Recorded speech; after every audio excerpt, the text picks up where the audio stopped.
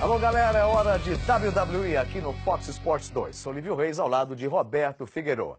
Ontem tivemos no Survivor Series uma grande batalha. O campeão intercontinental enfrentando o campeão americano. E Baron Corbin levou a melhor. Isso, Roberto, depois de provocar a Marise, lidar com misturagem, ele acabou com o mês. Foi um combate rápido, foi um domínio total do Baron Corbin, mostrando ser um grande atleta. Foi impressionante a maneira como o Miz tentou acabar com ele no começo e ele apanhando bastante se recuperou graças ao atleticismo e terminou batendo o Miz. No final foi engraçado porque ele diz: Miz, a minha mão levantou, a sua boca calou. É, e ele calou o Miz com um grande End of Days. Foi muito legal.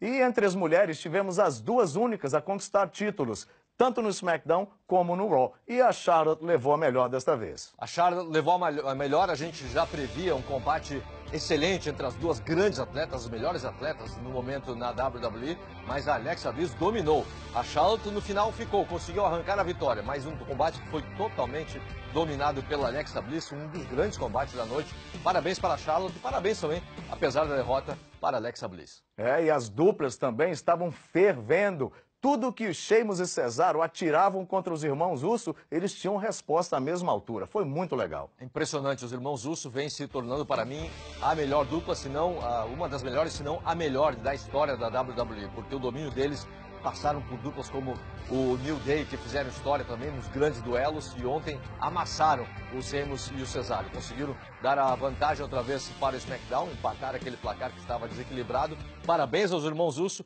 e eu acho que tem muito mais história deles pela frente na WWE. Sem dúvida.